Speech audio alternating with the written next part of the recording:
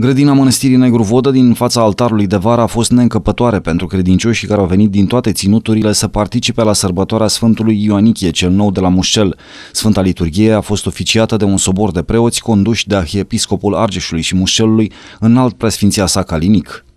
Sfântul Ioanichie, așa cum ați auzit vorbindu-se despre el, e viu, stă de strajă și vă rog să vă încredințați rugăciunilor lui, personal mă încredințez absolut cu toată uh, dragostea, fără nicio reținere.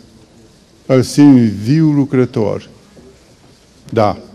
Și avem nevoie de sfinți, că s-a pus problema sfinților, să va mai pune în continuare, minunat este Dumnezeu întru sfinții săi. Așa spune Duhul Sfânt. Dacă e Dumnezeu minunat întru sfinții săi, cine sunt eu să tot comentez? Asta e. Ne convine, nu ne convine, asta e legea. Că nu le convin la unii și la alții, că sunt prea mulți, că sunt, nu mai știu cum sunt, uh, sunt uh, copiii lui Dumnezeu, care, Dumne, prin care Dumnezeu lucrează. Trebuie să aducem prin os de mulțumire și recunoștință, în primul rând lui Dumnezeu, că iată ne-a lăsat dar, ne-a lăsat moștenire de mare preț, mărgăritar cinstit ales pe Sfântul Cuvios Ioanichie cel Nou de la Mușcel, care totdeauna mijlocește înaintea tronului Preasfintei Trăimi, pentru cei care vin și îngenunchează în fața Sfintelor moaște și se închină cu credință și le sărută. Mulțumim Sfântului Ioanichie că, iată,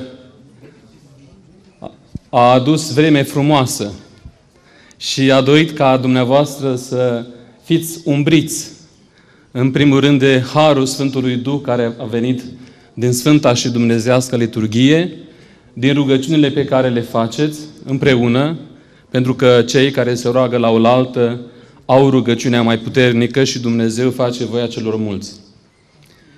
Îi mulțumim în alt preasfințitului Părinte Arhiepiscop Calinic, căci dânsul a fost cel care a dorit ca la câmpul lung să fie adus Sfântul Ioanichie. În alt preasfințitul Calinic a rostit rugăciuni și a stropit cu apă sfințită pe toți cei prezenți.